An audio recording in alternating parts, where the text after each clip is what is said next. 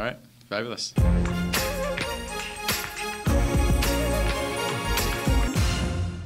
Hello, Hopkinton Middle School, and welcome to HMS Today. I'm your host, Josie Hopkins. We have so much stuff to share, and thank you for watching. Today, we begin with a brand new Minute with the Principal. Today, Mr. Keller talks with Shelby. Welcome to Minute with the Principal. I'm joined today by Shelby Jones, who you may remember was our eighth grade representative, the town of Hopkinton's representative to Project 351. And Shelby, my understanding is you have a service project coming Yes, up, right? Yes, that's right. Tell us about that. So for my spring service project, this is basically Project 351 combining with Cradles to Crayons, which is a nonprofit organization, and together I'm going to uh, I'm going to host a clothing drive, and at this clothing drive, we're going to be looking for clothing, uh, footwear, and also uh, coats as well, and if possible, brand new socks and pajamas. Um, this will be in sizes for clothing in youth 0 for tw- through 20 and adult sizes small and medium. And for footwear, it's in infant and child sizes 0 for, through 13 and adult sizes 1 through 10. Um, and no matter what, all the clothing should be appropriately styled for kids because it will be kids wearing it no matter if it's in an adult size.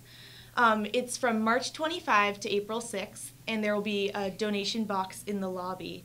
Um, so the reason for this is to provide comfort and support for children in need throughout Massachusetts, and I hope it does that. Awesome. So we can bring stuff in, drop it in the box. Yes, You'll be that's right. collecting it, and then and then what happens with to it afterwards? So I will deliver it myself to a factory, and they'll sort out, like they'll do what's called a quality sort, and they'll look for what's good, something that kids would be proud to wear, and then that will actually be delivered in what's called a care kit to kids, and yeah. Well, thanks for doing this, Shelby, and For I sure. appreciate all your efforts. Thanks, Mr. Keller, and thank you, Shelby, for the awesome work. Now, you know how news outlets have to make a correction from time to time? We've been lucky here at HMS TV. Until now, we made a mistake on the longest decade segment. Do you remember that? of the 1950s, the 1960s, or the 1970s, which decade was the longest? We said all decades are the same length 10 years. Well, funny thing, that's not exactly true. Mr. Rockwood, please correct the record. The 1960s was exceptionally long due to the number of leap years during that decade. Wow, who knew? Apparently not us. Thanks, Mr. Rockwood.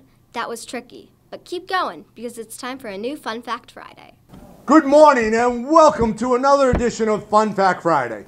On this day in history, in 1765, the Stamp Act required revenue stamps to be placed on all commercial and legal documents, as well as pamphlets, newspapers, playing cards, and dice in the United States. Also, on this day in history, about 30 years later, in 1794, an act was passed prohibiting American citizens from engaging in the slave trade in foreign countries on the pain of forfeiture of their vessel as well as $82,000. That was a significant amount of money back then. Lastly, did you know that Yemen is shaped like a Y? That's it for today, folks. Make it a great day, be kind to one another, and read a great book this weekend. I like it, Mr. Rockwood. Next up, it's time for our ever popular question of the day. Uh, someone I look up to is my friend Colleen. Mr. Mingus! I look up to Nick Chiton. My cousin all the way in England. Steve Irwin. My parents. Caillou! Bill Nye the Science Guy. Dr. Phil. Someone I looked up to is my mom because she's just my mom. she's a role model. I look up to my brother Cole. Mrs. Daniel, because we're going to win the homeroom challenge. Thanks to everybody who answered. Okay, let's take a look at the birthday scroll.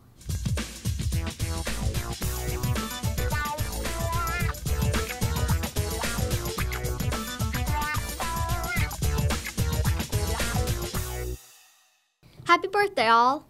All right, moving right on to Have You Seen This? This week we got four right answers. So I say, prizes to all, and I'm the anchor. So there.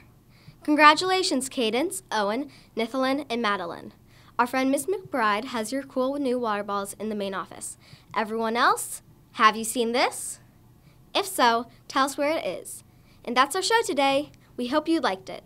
We'll be back next week with lots more, and until then, visit us at hms.today and send your thoughts and HYST entries to hmstv at hillers.org. Until next week, stay awesome. Oh. now you know how these. Uh, it's time for our every ever pop awkward. Next time, our friend Miss McGrath